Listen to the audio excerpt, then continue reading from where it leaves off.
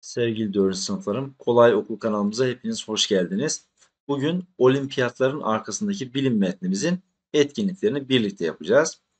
Evet, metne hazırlık sorularımız. Birincisi, teknoloji hayatınızı nasıl kolaylaştırır? Örnek veriniz demiş. Evet, çamaşır makinesi, bulaşık makinesi örneğin hem sağlığımız açısından hem zaman açısından işimizi çok kolaylaştırır. Bunu yazabilirsiniz. Çünkü soğuk sularda yıkamak zorunda kalabiliyoruz ve uzun sürüyordu. Hem zamandan tasarruf sağlıyoruz hem de sağlığımızdan kazanç sağlıyoruz. 2. Helikopterler doğada bulunan hangi varlıktan esinlenerek tasarlanmış olabilir? Evet doğada uçan sineklerden, arılardan esinlenmiş olabilir. Çünkü kanatların hareketiyle yükselen ve alçalan hayvanlara benziyor sevgili Evet metnimizi okuyalım. Olimpiyatlarda yarışan sporcular başarılı olmak ve en iyi performanslarını sergilemenin yanında bilim ve teknolojiyi de etkin biçimde kullanır. Gelin bu yazımızda hayatımızın neredeyse her alanında etkili olan bilim ve teknolojinin olimpiyat sporlarında nasıl kullanıldığına beraberce bir göz atalım.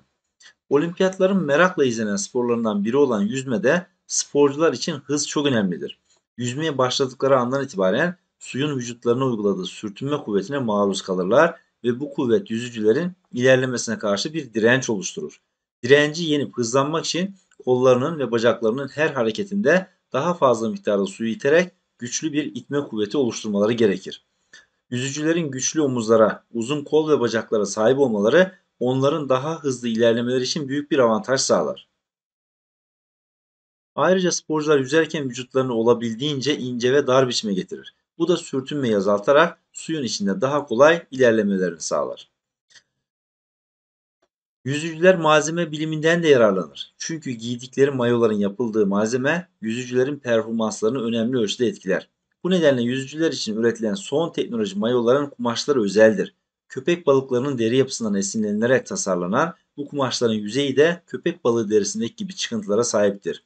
Bu mayolar yüzücülerin suda en hızlı biçimde ilerlemelerine yardım eder. Ancak haksız rekabete yol açabileceği düşünülerek yarışlarda bu teknolojiyle üretilen mayolara kısıtlama getirilmiştir. Binicilik ve bisiklet gibi bazı yarışmalarda sporcuların düşme ve yaralanma olasılıkları düşünülerek koruyucu ekipmanlar geliştirilmiştir. Kask bu ekipmanların en önemlisidir. Sporculara en yüksek performansı ve koruyuculuğu sağlayabilmek için özel olarak tasarlanan kasklar 3 katmandan oluşur. En dış katman sert bir dış kabuktur. Orta katman alınabilecek darbeleri emebilecek yapıdaki bir köpükten oluşur. İç katmansa sporcunun rahat edebilmesi için esnek bir köpükten yapılır. Kask sporcunun başının en iyi nasıl korunacağını belirlemek amacıyla yüksek basınç altında sıkıştırılma ya da üzerine kontrollü bir biçimde yüksek ağırlıklar bırakma gibi testlerden geçirilir. Bilim insanları kask tasarımlarını havanın oluşturduğu sürtünmeyi en aza indirecek biçimde yapmaya çalışır. Böylece hızla ilerleyen yarışçı sürtünme kuvvetine daha az maruz kalarak performansını arttırır.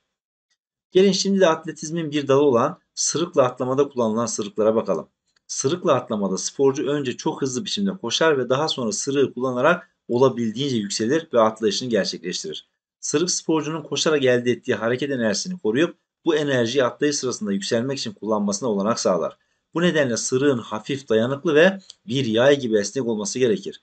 Eskiden cam elyafı adındaki malzemeden yapılan sırıklara artık karbon fiber adlı malzeme de eklendi.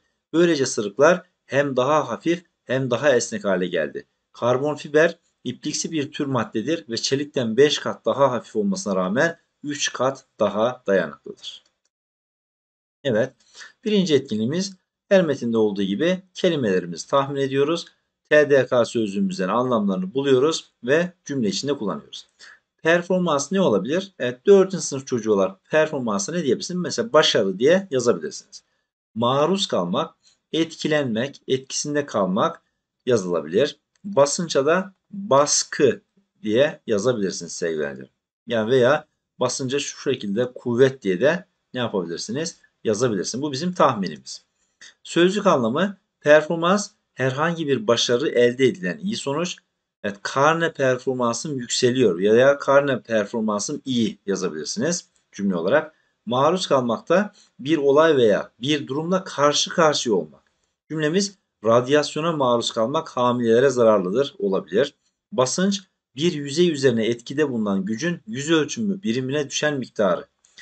Evet cümlemiz patlamada müthiş bir basınç oluşur yazılabilir. Evet metne göre sorularımız var. Birinci sorumuz yüzücülerin giydiği mayoların kumaşı performansını nasıl etkiler? Su içinde en hızlı biçimde ilerlemelerine yardım eder. 2. Bilim insanları yarışçıların kaslarını tasarlarken neyi amaçlamıştır? Evet, kasların vazifesini korumak değil mi öncelikle? Yüksek performans, evet, rüzgara karşı ucunu ince yapıyorlar ve koruyuculuğu sağlamak amaçlanmıştır. 3. Karbon fiber maddesiyle yapılan atlama sırıklarında ne gibi değişiklikler olmuştur? Evet hem daha hafif olmuş hem de daha esnek hale gelmiştir sevgili öğrencilerim. Hem de dayanıklıdır. Bunu da ekleyebilirsiniz. Evet metnimizin konusu ve ana fikri tekrar ediyorum. Konu nasıl bulunurdu? Konu sevgili öğrencilerim metin baştan sona okunduğunda bir cümleyle sizi ilk defa dinleyecek kişi ne anlayabilir? Bu demek. Bakın bilimin olimpiyat sporlarına katkısı. Bakın bir cümleyle ne diyorum?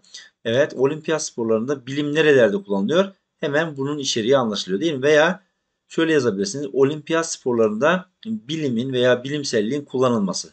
Tersten de yazabilirsiniz. Ana fikir neydi? Sevgili öğrencim ana fikirlerde her zaman bir öğüt, bir nasihat olur. Olimpiyat ve diğer alanlarda performansımızı artırmak için bilimden yararlanmalıyız veya yararlanabiliriz diye yazabilirsiniz. Evet, dördüncü etkinlikte de bakın voleybolun tanımı yapılmış ve voleybolun tarihçesi verilmiş. Voleybol file ile ikiye bölünmüş bir oyun alanı üzerinde 6'şar kişilik iki takım ile oynanan bir spor dalıdır diye söylüyor. Evet burada bakın William J. Morgan voleybol oyununu oluşturdu 1895. Bakın 1897 2 yıl sonra ilk resmi voleybol kuralları yayınlanmış. 1947'de Uluslararası Voleybol Federasyonu kurulmuş. Evet. 64'te bakın voleybol Tokyo Olimpiyatlarında olimpiyat oyunlarına eklenmiş. Evet 1995 voleybol 100 yaşına girmiş. Şimdi ifadeler doğruysa tik koyun demiş. İlk resmi voleybol kuralları 1897'de. Bakın zaten burada yazıyor görüyorsunuz. Doğrudur tik. Voleybol adı topu yere vurma ilkesinden yola çıkarak önerilmiştir. Böyle bilgi var mı? Hayır. Bilgi grafiği voleybolun kısa tarihi zaten görüyorsunuz. Doğrudur. Voleybol 1800, 1964'te 100 yaşına mı girmiştir? Bakıyoruz. 1995'te olacak değil mi? 1995 yanlıştır. Uluslararası Voleybol Federasyonu 1947'de bakın kurulmuş. Bu da doğrudur. Tik atıyoruz sevgili öğrenciler. Evet. Hülya'nın kütüphaneye gidebilmesi için D bağlacının ve D ekinin doğru kullanıldığı cümleleri takip etmesi gerekiyor. Gidebileceği yolu çizerek onu kütüphaneye ulaştırınız demiş. Şimdi şöyle bir ipucu vereyim. Bağlaç olan D yani ayrı yazılan D'nin yerine sevgilerin dahi ve bile kelimeleri kullanılabilir. Biz bunu kendimiz normalde nasıl biliyoruz? Cümleden çıkarıyoruz D'yi. Anlam bozulmuyorsa ayrıdır. Zaten ek olan D bulunma anlamı vardır. Mesela kalemde delik var. Yani kalemde bulunan anlamı hissedersiniz zaten. Bu da birleşik yazılır. Şimdi bakalım. En geç saat 8'de. Bakın ayrı yazılmış. 8'de bunun ne olması lazım? Birleşik yazılması lazım. Bakın 8'de. 8'in üzerinde bulunma e, özelliği var. Veyahut da bakın en geç saat 8 burada olsun. Ne oluyor? E, cümleden çıkınca anlamı bozulduğu için ne olması lazım? Bunun bitişik olması lazım. Burada sevgili yanlışlık yapılmıştır. Bu olmaz. İlkbaharda bütün doğa rengarenk olur. Bakın ilkbaharda bulunma değil mi? İlkbahar bütün doğa rengarenk olur. Çıkarınca anlam bozuluyor. Bitiş yazması lazım. Bakın bu doğrudur.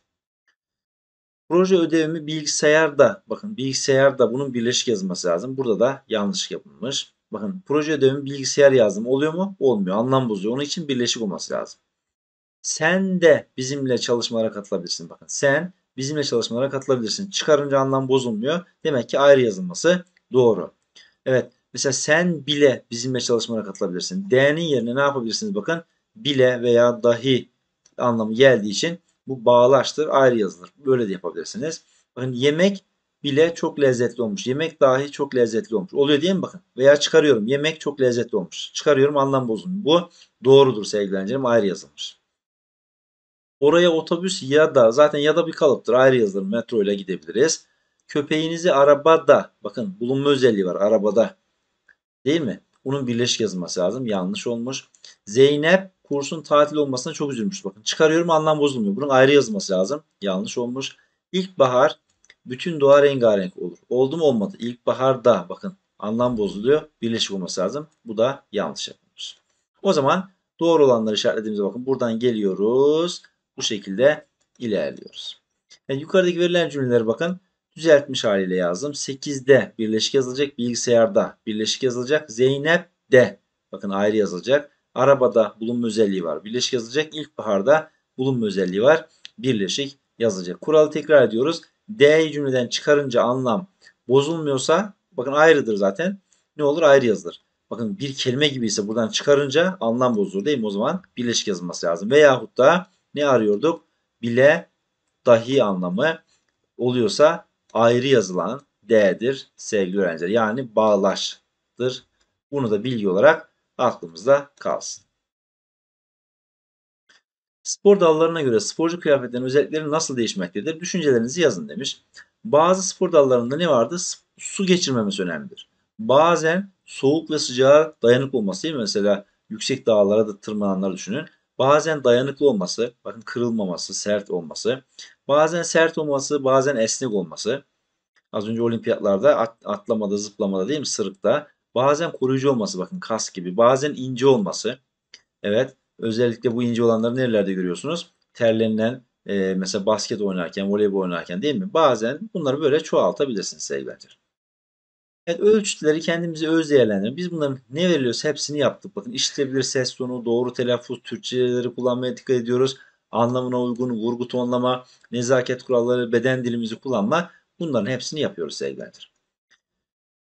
Evet. Şimdi özel gereksinimli olan bireyler için geliştirilen teknolojik aletleri araştırınız. Özel gereksinimli bireyler ne demek sevgili öğrencilerim?